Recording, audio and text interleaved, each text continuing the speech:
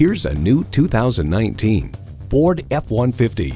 This truck was built to tough it out and tested to make sure it's up to every challenge. It comes with the features you need and better yet, want.